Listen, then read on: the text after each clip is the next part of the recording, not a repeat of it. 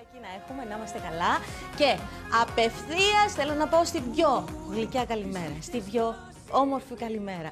Που φέτος θα ακούμε κάθε Παρασκευή. Παπαχρήστο μου. Καλημέρα. Καλημέρα. Καλημέρα, καλημέρα. Μεγάλη χαρά το ξέρετε. Μεγάλη χαρά το ξέρετε κάθε φορά. Και η δικιά μου. Για πείτε μου τι κάνετε, πώς είστε. Είμαι Παπαχρήστο πάρα μου. πολύ καλά. Πάρα πολύ καλά. Πού σας βρίσκουμε, πάνω στο χωριό; Με βρίσκει στο χωριό. Είναι οι μέρες που έχω εξομολόγηση. Ναι. Σήμερα ε, κάτι Παρασκευή και Σάββατο, δηλαδή τελειώνοντας η εκπομπή, κατευθείαν θα περιλάβω κόσμο. Αγκαλιές, φιλιά και προχωράμε και προχωράμε μέχρι το βράδυ, μέχρι τις 8 το βράδυ και κάθε Σάββατο πάλι το ίδιο και κάθε Κυριακή μετά τη λειτουργία στο χολιουδάκι, ένα χολιουδάκι των 8 κατοίκων και εγώ μαζί με την Μαρία μου, την παπαδιά μου, θα είμαστε 10. Αλλά γεμίζει κόσμο, χαρά, έρχονται, φεύγουν, έρχονται, φεύγουν και πιστεύω ότι φεύγουν χαρούμενοι. Σημασία, σημασία έχει αυτή η αγάπη, η αγκαλιά. Αυτά που λέγαμε, Παπαχρήστο μου, και χθες. που λέγαμε για αυτή την αγκαλιά, πραγματικά. Τι ωραία. Τι, τι, πόση, πόση ενέργεια σου δίνει και πόση θετικότητα μία αγκαλιά. Μα είναι η ζωή, γι' αυτό μας την έδωσε ο Θεός. Το μεγαλύτερο δώρο λέει είναι η καρδιά μας και η αγκαλιά μας. Η καρδιά να γεννάει αισθήματα και συναισθήματα και η αγκαλιά να τα υλοποιεί. Να μάθουμε να αγκαλιάζουμε τα παιδιά μας πρώτα-πρώτα, τους, τις συντρόφους μας μετά και μετά όλο τον κόσμο. Ο Χριστός λέει έμεινε πάνω στο σταυρό με τα χέρια ανοιχτά για να είναι πάντα η αγκαλιά του ανοιχτή για να χωράμε όλοι. Έτσι. Γι' αυτό τον έχουμε πάνω στο σταυρό μόνιμα.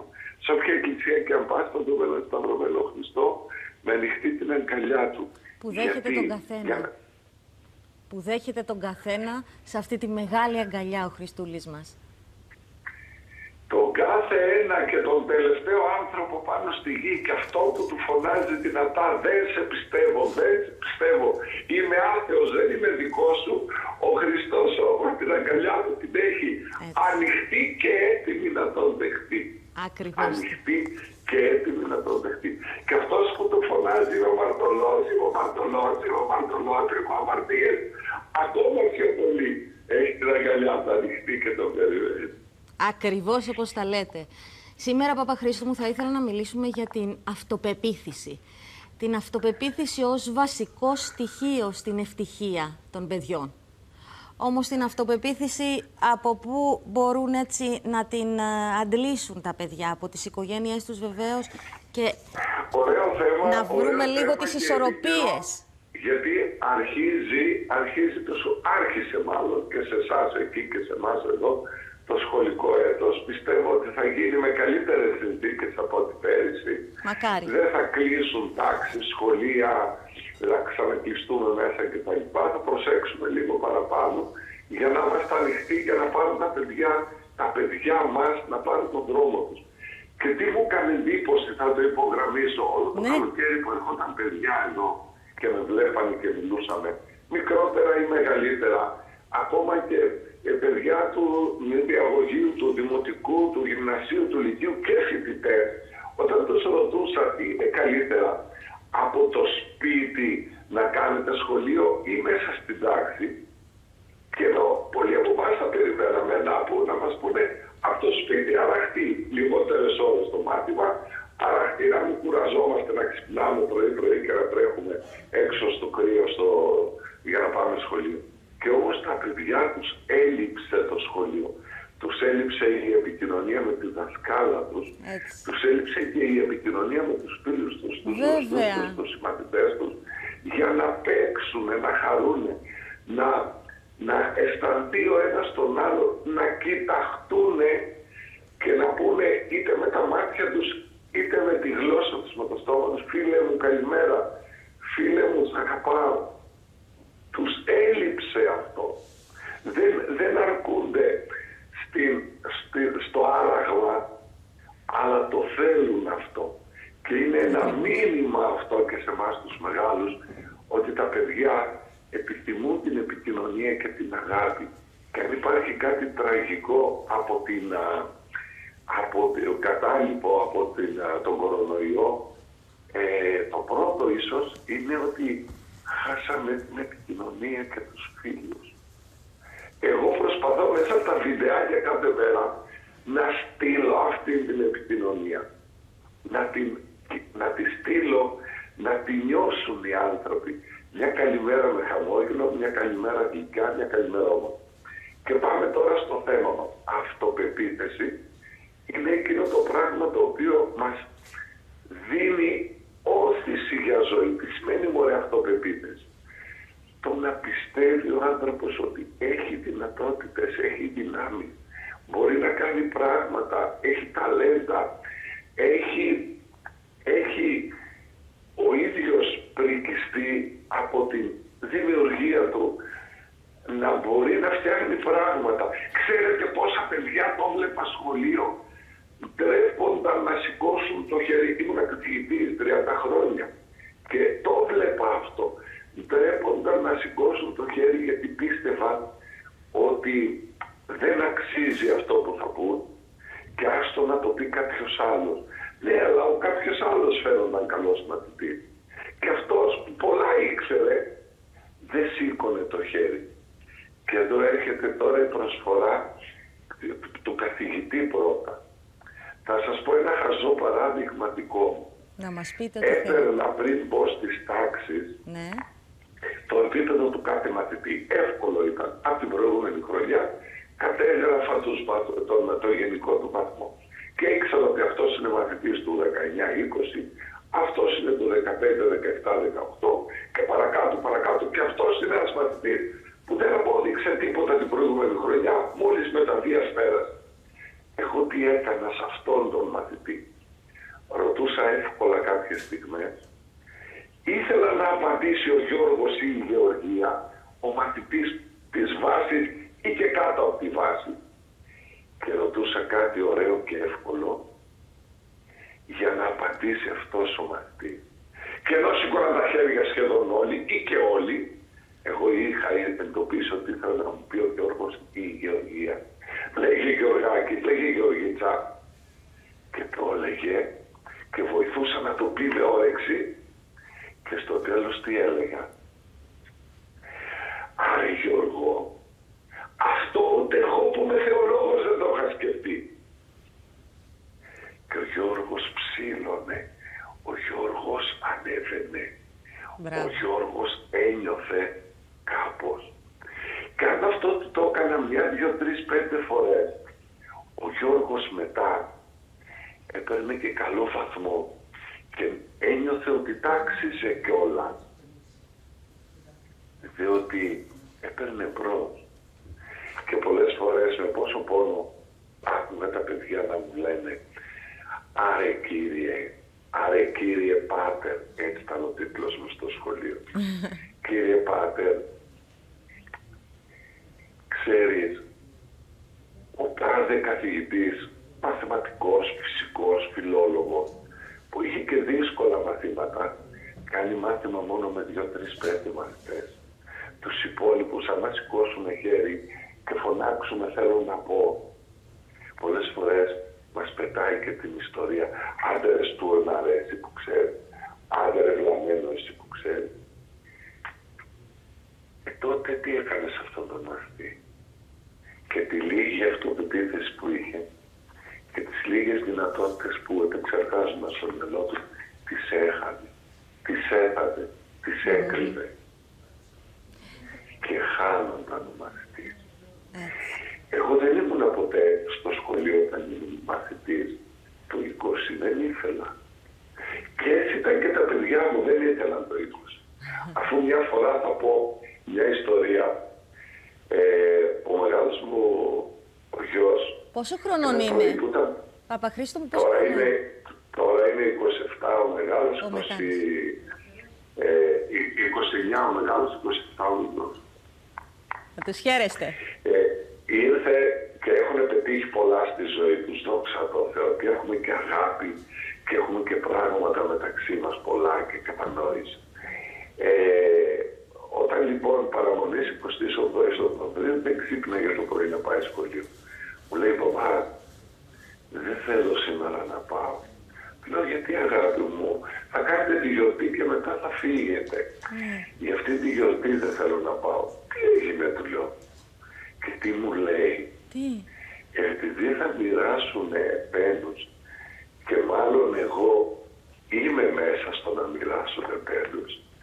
Δεν θέλω να εμφανιστώ, τρέπομαι. Πόσο μ' άρεσε. Ποτέ δεν πάλεψε τους βαθμούς του. Και όμως όταν ήρθε η ώρα να περάσει στο πανεπιστήμιο πέρασε και σε καλή σειρά πέρασε και σε καλή σχολή. Εκεί ένιωσα πιο περηφάνεια. Ο καλός ο μαθητής που τον είχαν όλοι του 20 με τόνο δεν πέρασε ούτε στη σχολή που ήθελε. Αλήθεια. Ναι γιατί γιατί το, δεν τον είχαν πείσει ότι αυτά τους βαθμούς που παίρνει τους αξίζει και πρέπει να τους δουλέψει. Μάλιστα. Τον είχαν πείσει ότι αυτός μπορεί εύκολα. Έτσι.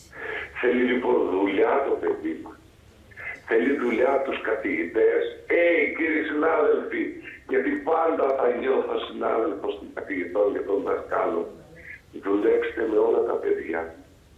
Με όλα τα παιδιά. Έτσι. Έχουν ταλέντα όλα τα παιδιά. Και ιδιαίτερα σε ένα δημόσιο σχολείο αξίζει να δουλέψουμε με όλα τα παιδιά. Και θα δείτε πράγματα που δεν τα πιστεύετε. Και το κάθε παιδί είναι μοναδικό. Το κάθε παιδί είναι μοναδικό. Και πρέπει να δούμε τη μοναδικότητα του κάθε ενός ξεχωριστά. Και όταν έκανα κάποτε σε τεχνικό λύκειο, όπου εκεί οι δεξιότητες των παιδιών, γι' αυτό και πανική, δεν είναι προς τα γράμματα, αλλά προς τις τέχνες, που να μάθουν πράγματα. Υπήρχαν παιδιά που δεν είχαν διαβάσει ποτέ, αλλά καταφέρνανε τις τέχνες και την τεχνολογία τόσο υπέροχα, τόσο μοναδικά, που δεν μπορεί κανένας να φανταστεί πόσα πολλά πράγματα καταφέρανε. Και επειδή εκεί προσπαθούσα να βρω κρίκ για να τους πείσω ότι αξίζεται ρε, στο τέλος τους έκανα και έκθεση της τεχνολογίας που είχαν μάθει και των πραγμάτων που είχαν φτιάξει. Θέλει λοιπόν μπράβο το παιδί μας. Έλεγε ο Γεροπαΐσος να το λέτε μωρέ το μπράβο στα παιδιά να παίρνουν τα πάνω τους. Και αφού πάρουν πολύ τα πάνω τους, μετά σκλαδέψουμε λίγο τον εγωισμό τους να μην τα καταστρέψει. Αλλά μετά όμως, αφού πάρουν τα πάνω τους. Και ο δεύτερος πόλος που χρειάζεται να δουλέψει με την αυτοπεποίθηση των παιδιών μας είναι η οικογένεια, αρεσίες. Αυτό θα Η έλεγα. οικογένειά μας. Η οικογένεια βεβαίως. Από εκεί ξεκινάνε. Ξέρεις, Ελπίδα μου, πόσες, φο- πόσες φορές, πόσες φορές ακούς γονιούς να ξεφτελίσουν το πενσάδερ που ξέρεις εσύ άλλη παράτα. Πάει να φτιάξει με το γιο του κάτι, κάτι στην αυλή του, στο σπίτι του, οτιδήποτε. Άστο, δεν ξέρεις εσύ. Θέλω, το φτιάξω εγώ. Τι το φτιάξε, πώς το κάνεις έτσι. Μα αν δεν μάθει από τον παπά, αν δεν μάθει από τη μαμά, από ποιον μωρέ θα μάθει από τον τοίχο. Ο τοίχος δεν διδάσκει. Η Έτσι. μαμά και ο παπά. Ε, Έχω, έχω ακούσει παπά να βλέπει την κόρη του να θέλει να φύγει έξω, να βγει βόλτα. Και να της λέει πώς είσαι έτοιμο. Ποιος θα σε δει εσένα; Ω. Ποιος, ποιο αγόρι θα σε δει; Ε, τέλειωσε αυτή η κόρη. Δεν θα θέλει να τη δημώσει κανένα αγόρι.